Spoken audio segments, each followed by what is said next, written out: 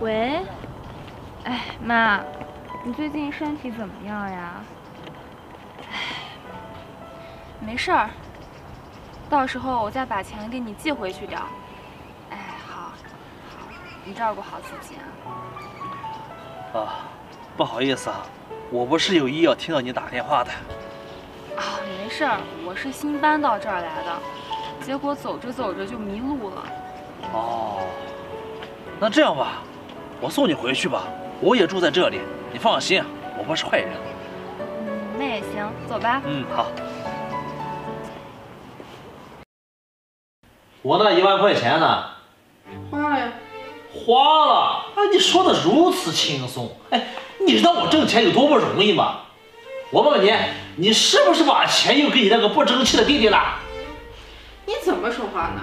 我弟弟马上就升职了，给他就是等于投资，你懂什么呀？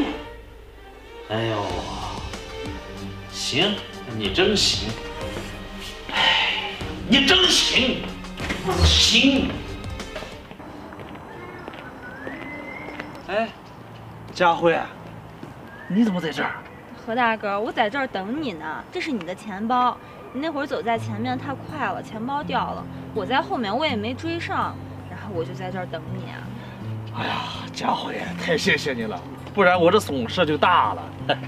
没事儿，你送我回家，我还你钱包，咱俩扯平了。谢谢你啊。哎，没事儿，那我走了啊。嗯，好。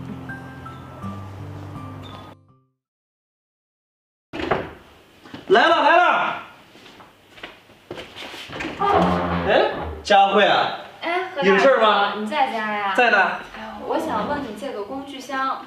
哦，你先坐会儿，我去给你拿。哎，好。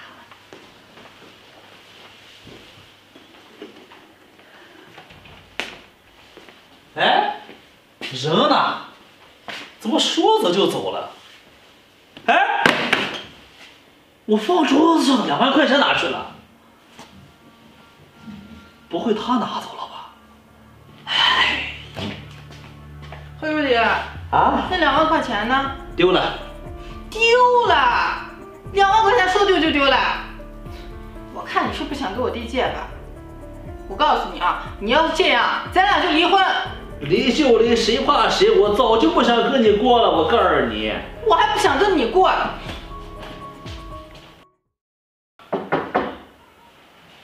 来了。哎呦，哎。哎，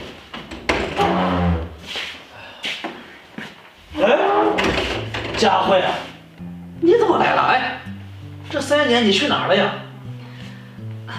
何大哥，我是来还你钱的。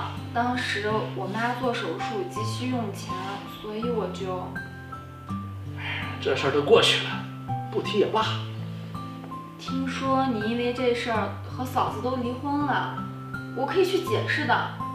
没事的，我跟他。早就过不下去了，早就想离了。那以后我来照顾你吧。啊，我什么都会的。这怎么行呢？不行不行。可以的，我心甘情愿。嗯